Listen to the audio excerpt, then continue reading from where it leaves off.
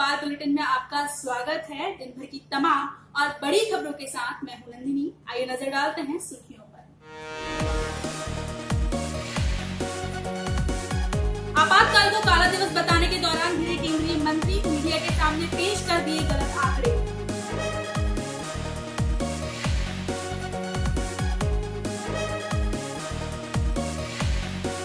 मध्य प्रदेश विधानसभा चुनाव के लिए आम आदमी पार्टी की तैयारियाँ पूरी।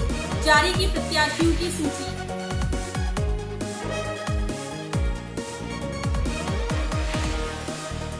सीहोर में छात्रा के शोषण के मामले में कोर्ट ने सुनाया बड़ा फैसला, आरोपी को सात साल की जेल।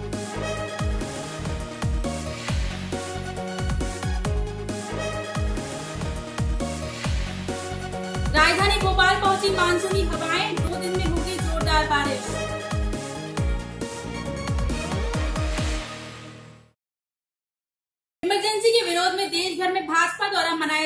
जा डे के मौके पर प्रदेश स्तर पर मुख्य आयोजन सीएम शिवराज के निवास पर हुआ। इस दौरान प्रदेश भाजपा के कई दिग्गज नेताओं के साथ केंद्रीय रसायन एवं उर्वरक मंत्री व मध्य प्रदेश भाजपा के पूर्व प्रदेश प्रभारी अनंत कुमार मिश्र भी शामिल हुए। उन्होंने आपातकाल के दौरान कैद किए गए मीसाबंदियों को सम्मानित किया। साथ ही प्रेस कॉन्फ्रेंस के दौरान वह मीडिया से रूबरू भी हुए। इस दौरान बीजेपी कार्यकाल में किसानों की आत्महत्या को लेकर पूछे गए सवाल का जवाब देने में मंत्री महोदय डगमग नज़र आए। दरअसल आपातकाल को काला दिवस बताने जनता के बीच पहुँचे केंद्रीय मंत्री से मीडिया कर्मियों द्वारा पूछा गया कि क्या मंदसौर गोलीकांड भी किसानों के लिए आपातकाल था? तो मंत्री अनंत कुमार ने कर्नाटक में कांग्रेस शासन के दौरान हुई 3,800 किसान की आत्महत्या का ज़िक्र करना शुरू कर दिया। वहीं जब उनसे पूछा गया कि मध्य प्रदेश भाजपा कार्यकाल के दौरान कितने किसानों ने आत्महत्या की तो उन्होंने आसपास बैठे मंत्रियों से इसके स्पष्ट आंकड़े पूछे। कहीं से कोई संतुष्टात्मक जवाब न मिलने पर उन्होंने अंदाज़ा लगाते हुए जवाब दिया कि भाजपा कार्यकाल में भी लगभग 600 किसानों ने आत्महत्या की है। आपको बता दें कि एनसीआरबी की रिपोर्ट मंत्री अनंत कुमार के आंकड़ों से बिल्कुल भी मेल नहीं खाती। रिपोर्ट के मुताबिक सिर्फ़ साल 2014-15 के बीजेपी शासनकाल के दौरान ही किसान और खेत के मजदूरों को मिलाकर प्रदेश स्तरीय आंकड़ों की बात की जाए तो यहाँ दो हज़ार चार सौ अठासी लोग आत्महत्या कर चुके हैं। जबकि मध्य प्रदेश में पिछले कुछ सालों से तो किसानों की आत्महत्याओं के मामले बड़ी तादाद में सामने आ चुके हैं। इसके अलावा अगर देखा जाए तो किसान आंदोलन भी किसानों की आत्महत्याओं को लेकर रोष में आया था। मध्य प्रदेश में होने वाले विधानसभा चुनावों के लिए आम आदमी पार्टी ने मंगलवार को अपने प्रत्याशियों की पहली सूची जारी कर दी है। पार्टी ने सूची में 20 विधानसभा क्षेत्रों के लिए उम्मीदवारों के नाम तय किए हैं। दिल्ली में आम आदमी पार्टी के कैबिनेट मंत्री गोपाल राय की मौजूदगी में सूची जारी हुई है। सूची में पूर्व आईपीएस गांधीवादी किसान नेता से युवा और पार्टी के कार्यकर्ता शामिल हुए। बताया जा रहा है कि पार्टी के प्रत्याशियों की दूसरी सूची 6 जुलाई को ग्वालियर में जारी की जाएगी। यह भी बताया जा रहा है कि पार्टी के राष्ट्रीय संयोजक और दिल्ली के मुख्यमंत्री अरविंद केजरीवाल 15 जुलाई को इंदौर आएँगे। इससे पहले पत्रकारों को संबोधित करते हुए पार्टी के प्रदेश प्रभारी और दिल्ली के कैबिनेट मंत्री गोपाल राय ने कहा कि आम आदमी पार्टी ने दिल्ली में व्यवस्था बदलने की जो शुरुआत की है, उसे मध्य प्रदेश में आगे बढ़ाया जाएगा। और इसी क्रम में आज 20 प्रत्याशियों की सूची जारी की जा रही है। उन्होंने कहा कि मध्य प्रदेश में कांग्रेस और भाजपा की सरकारों ने लूट और भ्रष्टाचार की जो व्यवस्था बनाई है, उसके कारण प्रदेश में हर और समस्याएँ हैं। शिक्षा, स्वास्थ्य, रोज़गार, किसान, बिजली, सड़क, पानी जैसे बुनियादी मुद्दों पर मध्य प्रदेश की स्थिति बेहद खराब है। उन्होंने कहा कि आम आदमी इन दोनों ही पार्टियों से त्रस्त हो चुका है और व्यवस्था परिवर्तन के लिए आम आदमी पार्टी पर भरोसा जता रहा है। केंद्रीय संसदीय मंत्री अनंत कुमार ने कांग्रेस अध्यक्ष राहुल गांधी को संसदीय मामले में अनुभवहीन बताते हुए आरोप लगाया कि जब से राहुल गांधी कांग्रेस के अध्यक्ष बने हैं, संसदीय कार्यों में बाधाएँ आ रही हैं। भोपाल स्थित भाजपा कार्यालय में अनंत कुमार ने संवाददाताओं से कहा कि राहुल गांधी जब से कांग्रेस के अध्यक्ष बने हैं, तब से संसदीय कार्य में बाधा आ रही है उन्हें संसदीय कार्य का कोई अनुभव नहीं है संसदीय सत्र में विपक्ष को कैसे चलाना और किन विषयों के बारे में चर्चा करना है, बहस करना है, किन विषयों को उठाना है, किस विधेयक के बारे में क्या करना, यह भी आज के समय में उनके नेतृत्व में कांग्रेस दोहरा मापदंड अपना रही है। केंद्रीय संसदीय कार्य मंत्री ने कहा कि चार साल में प्रधानमंत्री नरेंद्र मोदी के नेतृत्व जितने विधायी और संसदीय कार्य हुए हैं, वह भारत के संसदीय इतिहास में एक रिकॉर्ड है। उन्होंने कहा, पिछली सरकारों के मुकाबले केंद्र की मोदी सरकार के पिछले चार साल के कार्यकाल में सबसे कामयाब संसदीय सत्र हुए हैं। इस दौरान जितने विधायी एवं संसदीय कार्य हुए, वह भारत के संसदीय इतिहास में एक रिकॉर्ड है। यह सत्र 119 से 120 फ़ीसदी तक कामयाब हुए हैं। चौदहवें विधानसभा के अंतिम सत्र के नाटकीय रूप से अनिश्चित काल के लिए स्थगित होने के बाद राजनीतिक गलियारों में गहमा गहमी का माहौल है। मुख्यमंत्री शिवराज सिंह चौहान ने बुधवार शाम को भाजपा विधायक दल की बैठक बुलाई है। बैठक सीएम हाउस में शाम छह बजे होगी। इससे पहले मंत्रालय में मुख्यमंत्री प्रदेश के आला अधिकारियों के साथ बैठक करेंगे। जानकारी के अनुसार शाम को सीएम हाउस में होने वाले विधायक दल की बैठक को अहम माना जा रहा है। इसमें मुख्यमंत्री की जन आशीर्वाद यात्रा पर चर्चा होगी। साथ ही कयास लगाए जा रहे हैं कि विधानसभा के अनिश्चित काल तक के लिए स्थगित किए जाने के मामले को जनता के सामने किस तरह पेश करना है, इस पर भी चर्चा होगी। बता दें कि मुख्यमंत्री शिवराज सिंह चौहान ने बुधवार शाम को भाजपा विधायक दल की बैठक बुलाई है। मध्य प्रदेश विधानसभा की कार्यवाही अनिश्चितकाल के लिए स्थगित कर दी गई। यह प्रदेश की चौदहवीं विधानसभा का मानसून और आखिरी सत्र था। वैसे भी ये सत्र सिर्फ़ पाँच दिन का था, लेकिन महज दो दिन की ही कार्यवाही हुई। और समय का हिसाब लगाएँ तो इन दो दिन में सिर्फ़ पाँच घंटे ही सदन की कार्यवाही चली। दूसरे दिन बीजेपी विधायक नीलम अभय मिश्रा के सदन में धरने के बाद हंगामा बढ़ा और बस उसके बाद कार्यवाही आगे ही नहीं बढ़ सकी। विधानसभा के सत्र में कांग्रेस अविश्वास प्रस्ताव लेकर आई थी। सोमवार को उसने प्रस्ताव पेश किया, लेकिन अगले ही दिन कार्यवाही अनिश्चितकाल के लिए स्थगित कर दी गई। विधानसभा के इस आखिरी सत्र में सदस्यों को फ़ोटो सेशन तक नहीं हुआ।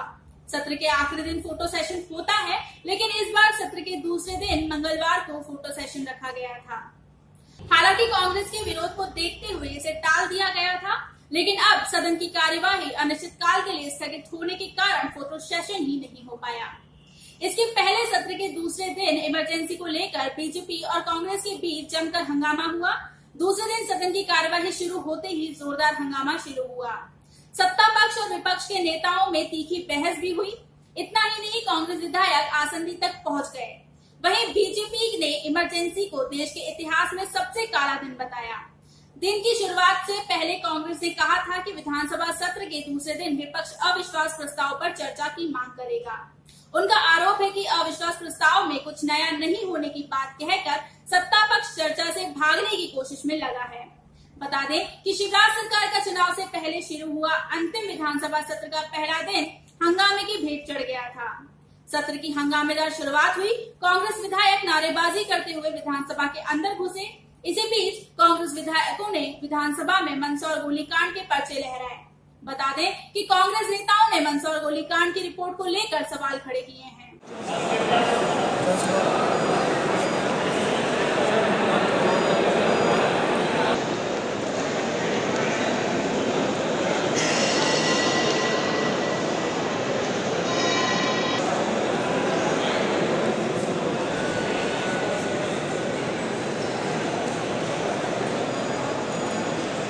ऊपर जा रही है आइडिया और जल अवर्ण योजना के काम चल। रहा है इसलिए शहर में खुदाई भी है और उसमें पाइप रखे जा रहे हैं उसके बाद में अरे मोबाइल थोड़ा- पानी रुक गया था। थोड़ा सा स्वाभाविक रूप से मैं जब गया तो वहाँ बस्ती वाले उसी रोड के बस्ती वाले थे वो आ गए थे उन्होंने कहा साहब ऐसी स्थिति है तो ठीक है इसका। यही बात है इसमें क्या है?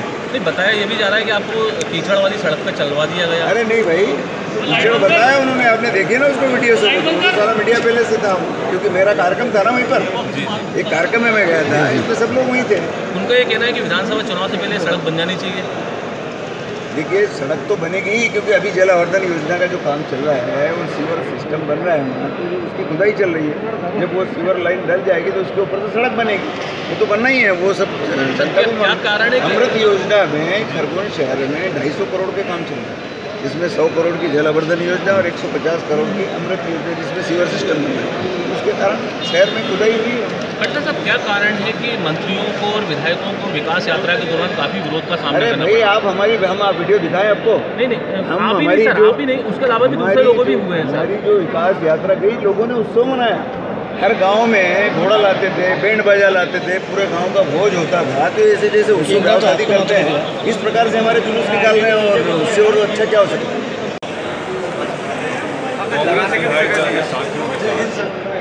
हम लोग स्पीकर से मिलने गए थे। और दो मांगे रखी हैं एक बहुत सारे विधेयक हैं। एक सत्रह विधेयक हैं। पाँच दिन पर्याप्त नहीं है। समय बढ़ाया जाए करें उन्होंने कहा कि आपने हमारे संज्ञान बनाए हैं। ऐसा विचार करें जहाँ तक अविश्वास की बात है अविश्वास पर स्पीकर साहब का संज्ञान में आ चुका है, और फिर मैं बताऊँगा। जिस तरह से कार्यसूची बनी उस पर संदेह हो रहा है कि सभी पूरे सदन की कार्रवाई पाँच दिन की, आज पहले दिन ही कार्यसूची में आ जाए। इससे संदेह होता है कि इनकी मंशा क्या है। आगे अब देखिए घटनाक्रम क्या होगा। वो मुख्यमंत्री जो एक लाख पिचहत्तर हज़ार करोड़ रुपए के कर्जे में इस प्रदेश को लेके आए और जितना कर्जा इस प्रदेश के आम जनता पे उतना ही मुख्यमंत्री ने भ्रष्टाचार किया। वो बिजली विभाग का किया व्यापक में किया एग्रीकल्चर के ई टेंडरिंग में किया, या अलग अलग प्रकार से और एविडेंस के साथ हम अविश्वास पेश करेंगे। आपकी जवाबदेही है प्रदेश की जनता के प्रति, किसी के परिवार के प्रति नहीं। तो परिवार की बात लाके कवच बना के अपने आप को बचाना, ये कमज़ोर आदमी की निशानी है। कायर आदमी की निशानी है। और जो कायर होता है वो किसी न किसी तरीके से अपने आप को छुपाना चाहता है। मुख्यमंत्री में अगर ईमानदारी है तो परिवार की बात न करते हुए जवाबदेही की बात करें। किसानों की हत्या हुई क्यों सजा नहीं मिली किसी को। एक लाख पिचहत्तर हज़ार का करोड़ का कर्जा हो गया किसकी जवाबदेही है? वाइट पेपर क्यों नहीं है प्रदेश के सामने? आपने ई टेंडरिंग में अरबों रुपए का घोटाला किया। उसके लिए जवाबदेही किसकी है? एग्रीकल्चर विभाग संसदीय कार्य मंत्री खुद। जिस विभाग को संभालते हैं, उसमें टेंडरिंग में ई टेंडिंग में सबसे बड़ा घपला हुआ। इन चोरों की मंडली, जो मैंने पहले कहा था, इस चोरों की मंडली का चेहरा बेनकाब होने लगा है। तो कभी परिवार की बात लाके, कभी परिवार के किसी न किसी प्रकार का कवच बना के अपने आप को बचा नहीं सकते हैं। यहाँ बचाएँगे तो जनता से कैसे बचेंगे? वो तो हटाने पे तुली है। ये सरकार चार महीने की बची हुई सरकार है। ये मुख्यमंत्री तीन महीने के बचे हुए मुख्यमंत्री हैं। कितने भी बच लें, अंत निश्चित है। संत भैयू महाराज का अस्थि कलश मंगलवार को शुजालपुर पहुँचा, जहाँ अस्थि कलश के साथ श्रद्धांजलि यात्रा निकाली गई और पैतृक खेत पर स्मारक के रूप में क्षत्रिय निर्माण स्थल का भूमि पूजन हुआ। पूजन से पहले बेटी कुहू माँ माधवी की समाधि पर पहुँची और स्मारक से लिपटकर खूब रोई। परिजन ने जब सांत्वना देना चाही तो बोली, मैं नहीं हटूँगी। वह मेरी मम्मा का फ़ोटो फाड़ देगी। मैं नहीं फाड़ने दूँगी किसी को। बाबा आई का फ़ोटो। हालाँकि कुहू ने किसी का नाम नहीं लिया। भैयू महाराज की दूसरी पत्नी, आयुषी ससुर विश्वास राव की समाधि पर कुहू के साथ पूजन में शामिल हुई। इसके तुरंत बाद वह भी कुहू की माँ और भैयू महाराज की पहली पत्नी माधवी की समाधि पर नमन करने गई। शुजालपुर में जन्मे उद्धव राव देशमुख की मृत्यु के बाद पहली बार बेटी कुहू, पत्नी आयुषी दोनों बहनें रेणु व अनुराधा, चचेरा भाई व ट्रस्ट प्रमुख दिलीप देशमुख और सूर्योदय परिवार के विनायक संजय यादव, मनोहर सोनी के साथ पूरा परिवार शुजालपुर पहुँचा। सीहोर में 16 साल की छात्रा के साथ शोषण के मामले में कोर्ट ने सुनवाई की।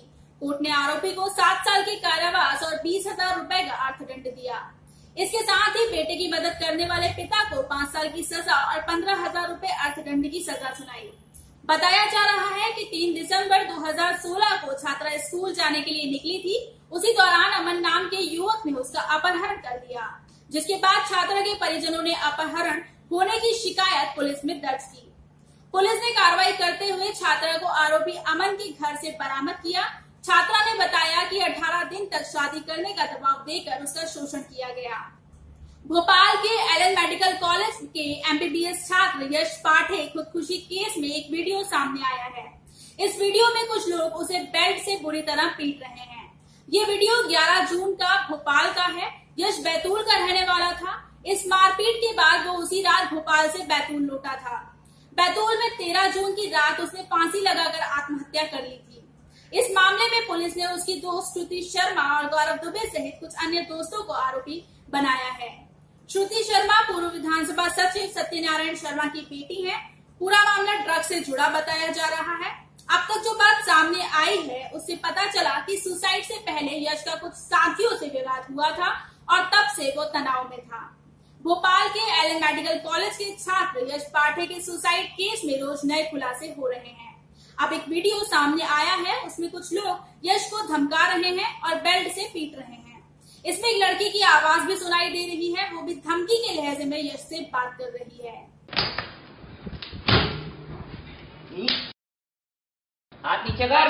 भाई मत मार यार मार रहा हूँ क्या ये? ये तो तेरे को मज़ाक कर रहा हूँ तेरे भाई मर जाऊँगा यार मत कर यार प्लीज़ सबके सामने बोलेगा चल के। खत्म करवाएगा हाथ नीचे कर भाई मत मार यार मार रहा हूँ क्या ये? ये तो देखो मज़ाक कर रहा हूँ तेरे भाई मर जाऊँगा यार कब मत कर यार प्लीज़ सबके सामने बोलेगा चल के। खत्म करवाएगा। हाथ नीचे कर। भाई मत मार। सीहोर जिला बार काउंसिल के अभिभाषक एक दिवसीय हड़ताल पर रहे। अभिभाषक संघ के सदस्यों ने ग्वालियर बार काउंसिल के सदस्यों के साथ मारपीट कर लूट की घटना का विरोध जताते हुए निंदा प्रस्ताव पास किया। इसके साथ एडवोकेट प्रोजेक्ट एक्ट लागू करने की मांग को लेकर अभिभाषकों ने न्यायालय कार्य से विरत रहकर घटना की सीबीआई जाँच के साथ साथ बदमाशों की गिरफ्तारी की मांग की। आपको बता दें, सागर ज़िले के मालथौन थाना क्षेत्र में अज्ञात लुटेरों ने स्टेट बार काउंसिल जबलपुर की मीटिंग से लौट रहे ग्वालियर हाईकोर्ट बार एसोसिएशन के अध्यक्ष अनिल मिश्रा, उपाध्यक्ष राजीव शर्मा सहित चार वकील और गाड़ी के ड्राइवर पर जानलेवा हमला कर दिया था। सीहोर में कुछ घंटों की बारिश ने ज़िले को तरपतर कर दिया। लगातार हुई बारिश के कारण आशा सिद्धिगंज रोड के ग्राम कासमपुरा की कासम नदी उफान पर आ गई है। नदी के पुल के ऊपर चार फीट तक पानी पहुँच गया। वहीं जावर में छह घंटे से लगातार हो रही बारिश से नेवज नदी में भी उफान पर आ गई है।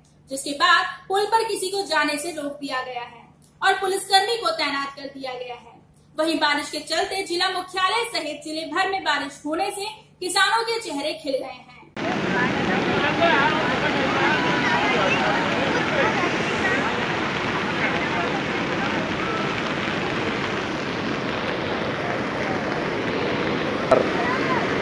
पानी के कारण फंस गई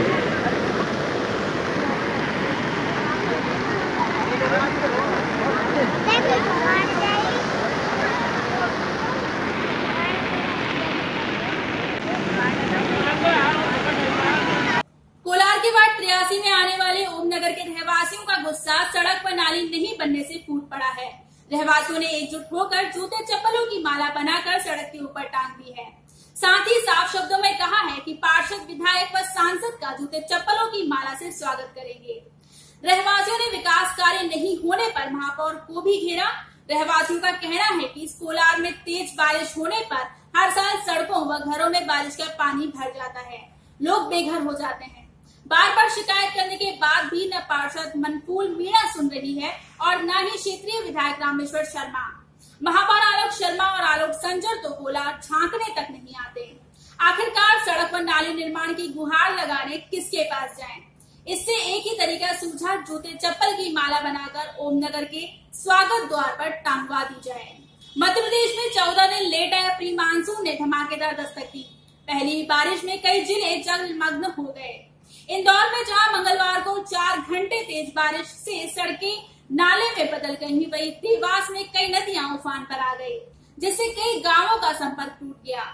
सिवनी में तेज बारिश के बाद बिजली गिरने से खेत में काम कर रहे पाँच लोगों की मौत हो गई, जबकि तीन बुरी तरह से झुलस गए। वहीं महेश्वर में महेश्वरी नदी के उफान पर आने से एक भैंस पानी में बह गई। मौसम विभाग के अनुसार मध्य प्रदेश में मानसून सक्रिय हो गया है। कुछ घंटों में कई जिलों में जोरदार बारिश हो सकती है। सिवनी ज़िले के मोहन गाँव में मंगलवार को कुछ मजदूर मक्के की बुआई कर रहे थे। साथ आए बच्चे खेत के पास ही खेल रहे थे। बारिश शुरू होने से सभी लोग आम के पेड़ के नीचे खड़े हो गए। इसी दौरान आकाशीय बिजली गिरने से पाँच लोगों की मौत हो गई, जबकि तीन लोग झुलस गए। पत्रिका मध्य प्रदेश के भोपाल बुलेटिन में आज इतना ही। पल पल की अपडेट्स के लिए बने रहिए हमारे साथ। नमस्कार।